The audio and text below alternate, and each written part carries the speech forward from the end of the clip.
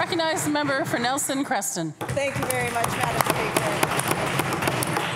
I mean, the minister ought to know that we don't need to look beyond British Columbia's borders if we want to see boondoggle after boondoggle after boondoggle when it comes to IT systems.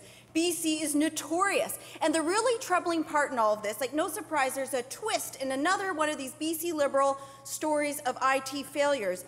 The troubling part is, Madam Speaker, is that after the minister's $500 million Vancouver coastal IT project went sideways and the minister fired IBM, he went out and hired Cerner to fix it.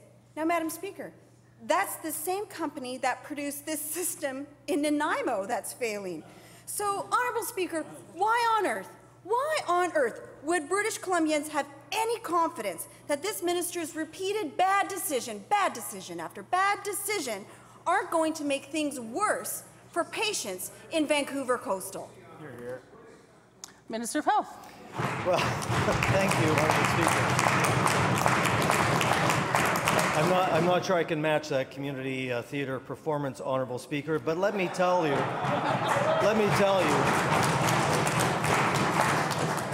let me tell you that Cerner was always the system being contemplated uh, in the, the CST program in, uh, in Vancouver Coastal and PHSA, Honourable Speaker, and across the globe, there are 5,400 hospitals and 45,000 physicians using Cerner systems. This isn't a system that is new to the, to the healthcare scene, Honourable Speaker. In Canada alone, 34 health systems use Cerner-based computerized provider uh, order entry. Honourable Speaker, this is a, a well-used system and it has to be customized and tailored to our local hospitals. That's what we're all working hard to do.